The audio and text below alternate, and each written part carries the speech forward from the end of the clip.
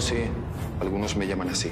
Y yo solo soy una vía de escape, un respiro. Telemundo presenta La víctima apareció en su casa. un gran éxito internacional. Soy Emanuel. Entra al mundo de la seducción y la doble vida, donde enamorarse Julia jamás se puede enterar. tendrá un alto precio. Un evento especial de cuatro episodios. Al final del día, todos nos hemos vendido por algo. Diario de un gigoló. Estreno sábado 12 de noviembre por Telemundo y en la app.